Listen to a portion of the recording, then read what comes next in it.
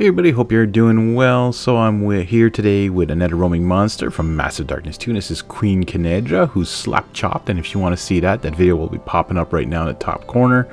We're starting off with some Gryph-hound Orange. We're going to be using some contrast paints on this large miniature.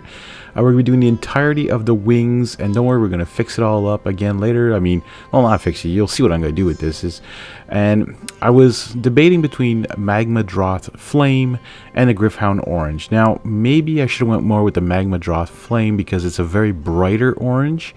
This is more of a darker orange, and I think it might have been too dark once it dried. Uh, and her wings in the artwork were a bit brighter. So if you do have the Magmadroth Flame and you want to try it, please uh, let me know if it worked out. And you can join my Discord channel. The link is in the description, and you can always share your pictures there as well if you want. Uh, and also, if you want to become a Patreon, you can join me, and the link is also in the description. That would help pay for a lot of painting stuff, videos like this, and you get your name put up on a video, you get behind the scenes look, all sorts of cool stuff.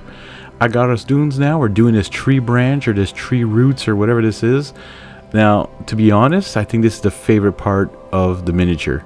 Uh, just because of that whole underpainting, that whole slap chop method just really brings out the, the dark and the lights on the roots. Some Terradon turquoise now. We're doing those that fur or feathers or whatever this creature has. Uh, there's some on her chest, some on her head. Her hair goes back onto the wings. Uh, again, another beautiful color with the slap chop method. The bright comes out bright, the darker darker. You know, again, if you haven't tried slap chopping your miniature, please do try it. It is a great method and saves you a lot of time. Uh, it's not just your typical zenithal highlighting, which is fun. You know, it's always fun to learn new things. Nazdreg yellow now. We're putting this on her chest and her face. Uh, this is a little bit more yellow than I wanted. I was looking more for like a honey color. Uh, but I will fix that again later and make it look a little bit more like I wanted. Flesh Tearers red now for the horns and her arms and her legs. Uh, she has quite a few arms. She has four arms to do. Uh, again, the Flesh Tearers red. Uh, came out a little darker than I was expecting. I thought the white would have made it pop a little bit more. Uh, maybe there was too much of a heavy brush on the white. Maybe instead it wasn't enough contrast between the grays and the black and the white uh, again but this is again where you're looking at object source lighting right? You want to say okay where is the lighting coming from? Well it almost looks like to me on this one the lighting was coming from the front the way I did it.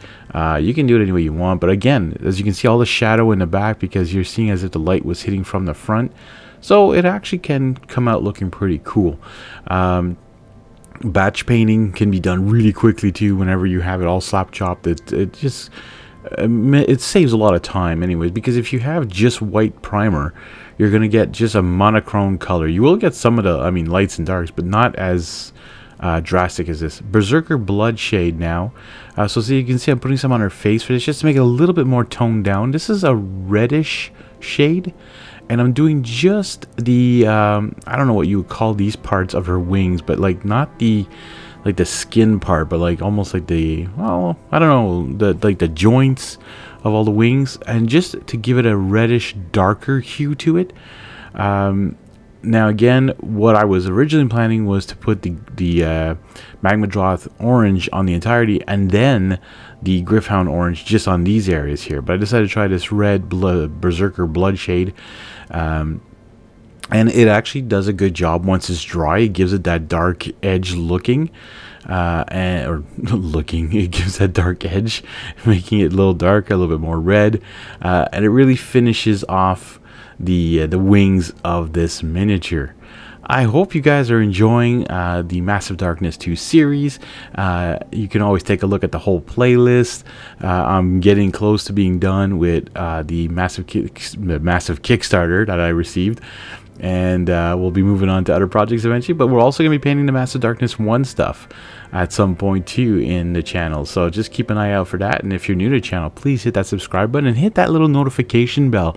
This way you'll know when i'm putting up new videos. And i'm thinking of doing some live streams where i either paint or build some miniatures. Let me know if you think that's something you guys would like to see So what I'm going to do now is I'm finishing off the base now with some light earth. This is an AK Interactive Diorama Terrain Series stuff.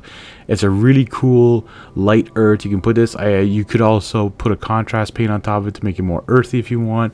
I want it to be a little light. I'm going to add a little bit more stuff to it at the bottom here after uh, to make it look like those roots are really in the ground, part of like a whole other scenery.